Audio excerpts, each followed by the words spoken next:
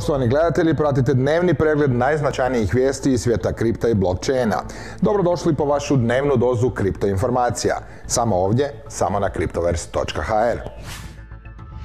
Jack Dorsey je vrlo specifična individua. Bitcoin maksimalist, tvorac Twittera, libertarijanac posvećen anonimnosti, slobodi i decentralizaciji. Sukladno tome, Dorsey je predstavio Blue Sky Social, svoj decentralizirani odgovor na Twitter. Krajem 2019. godine Dorsey je objavio da je njegova tvrtka formirala malu, neovisnu grupu programera i zadala joj jedan jedini cilj – stvoriti decentralizirani protokol društvenih medija koji bi mogao poslužiti kao temelj novog standarda za internet povezanost bez utjecaja korporacija i vlada. Tri godine kasnije pokrenuli su web stranicu za svoj decentralizirani protokol društvenih medija koji se zove DAT protokol. On funkcionira neovisno o volji bilo koje pojedine tvrtke. Ta će neovisnost omogućiti korisnicima društvenih mreža izgrađenih na protokolu da zaštite svoje privatne podatke i izbjegnu korporativne algoritme. Kada je Dorsey prvi puta zamišljao potencijal protokola, izjavio je da je cilj da i Twitter u konačnici bude klijent ovog standarda. Hoće li i biti, ostaje za vidjeti, jer tu znamo još traje vlasnička drama sa Elonom Muskom. Inače, sudski dokumenti proizašli iz tekuće tužbe Twittera protiv Maska u vezi sa akvizicijom otkrili su da je Dorsey razmjenjivao poruke sa Maskom. U njima je lobirao da ovaj upravlja Twitterom kao protokolom otvorenog koda, financiranim od strane zaklade. Twitter ne smije imati reklamni model jer bi time vlade i korporacije dobile pristupnu točku za kontrolu diskursa, napisao je Dorsey. A na NFT tržištu vlada kaos ne radi reklamnog modela, već radi tantijema.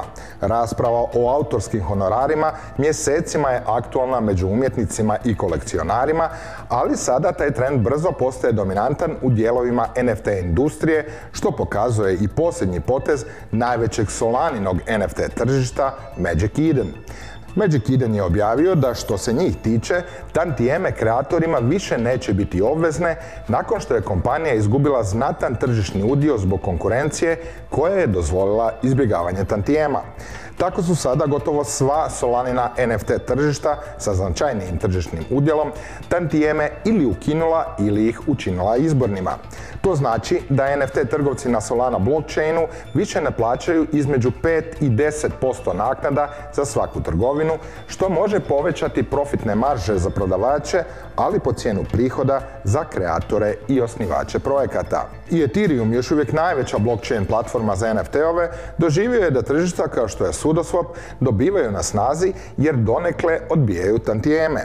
Međutim, najveće svjetsko NFT tržište, OpenSea, i dalje priznaje autorske naknade kreatorima i nije jedino takvo tržište na Ethereumu. A nadamo se da će tako i ostati. U ostalom, nije li jedna od ideja iza NFT-ova bila da autori svoje radove monetiziraju doživotno putem tantijema prilikom svake promjene vlasnika njihovog autorskog dijela. Hakiranja u kripto svijetu očigledno su postala svakodnevica. Zadnja je žrtva protokol za pozajemljivanje i posuđivanje Mula Market temeljen na silo blockchainu. Krađa je teška više od 10 milijuna dolara.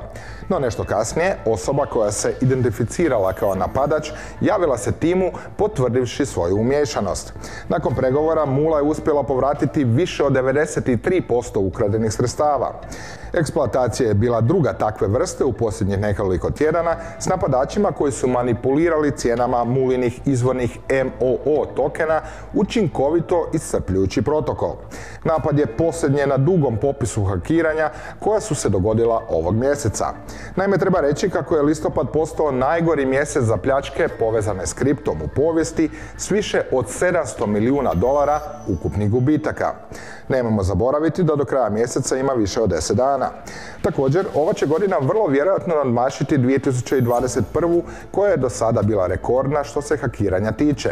Napadači su 2021. godine zaradili više od 3,2 milijarde dolara, a 2022. je već vrlo blizu toj vrijednosti s otprilike 3 milijarde i 150 milijuna ukradenih sredstava. A kada smo kod hakiranja, krađa i prevara, onda tu treba spomenuti ovu ovdje damu jednu, jedinu i neponovljivu Ružu Ignatovu. Nekoć poznata kao kraljica kripta, Ruže u bijegu od 2017. a njezina je priča priča o jednoj od najvećih prevara svih vremena u kriptu.